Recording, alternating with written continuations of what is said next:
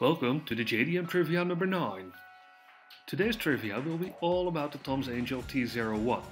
CZ guessed the teaser entirely correct. The car in the teaser clip is indeed the Tom's Angel T01, and the taillights are indeed borrowed from the E90 generation Corolla FX.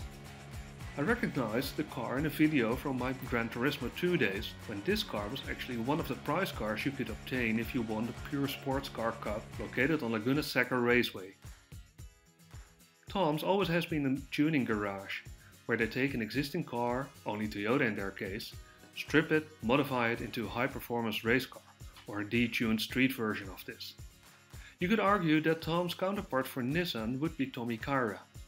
They also take mostly Nissan cars and modify them into high-performance race cars. The analogy even goes further, both have made an attempt to create their own lightweight mid-engine sports car from the ground up. Both of them had their mid-engine sports cars manufactured in Great Britain. And for Tommykaira eh? the car was named the ZZ, while Tom's attempt was called the Angel. Tom's wanted to celebrate their 20th anniversary in 1994 by launching their own mid-engine sports car roughly the size of a kei car. In 1991 they gave their orders to the British subdivision to start building such a car under supervision of Martin Ogivie. It took roughly three years to develop the Angel, sourcing parts from the Toyota bin, hence the E90 Corolla FX taillights. And you would expect Toms to also use the AW11 MR2 suspension parts as the Angel is also a mid-engine car. Instead, their British subdivision, who also manufactured Formula 3 chassis, created a full carbon fiber and FRP monocoque on a steel subframe with a fully independent wishbone suspension on all four corners. One of the parts they did take from Toyota was the 5-valve 4AGE Silvertop and its gearbox from the AE101 Corolla Levin and Sprinter Trueno. The Silvertop was capable of delivering an output of 158 PS, which is 4 PS higher than Toyota rated it. The instrumentation existed of a large tachometer and an LCD panel that showed the most important other things like speed, water temperature, oil temperature and pressure.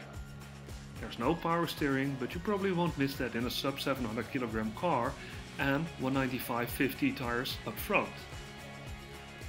Tom's expected to sell a few hundred of these cars for roughly $42,000 each and presented the prototype to the public on the 1994 Tokyo Motor Salon.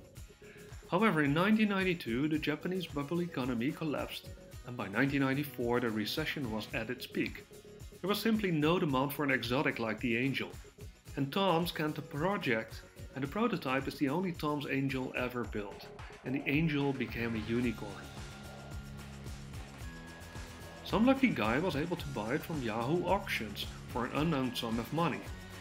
But probably it was all worth it, for what I have found is that the car has been restored to its original state and there has been only one change applied to this car, the silver top has been swapped for a black top. Teaser for the next time.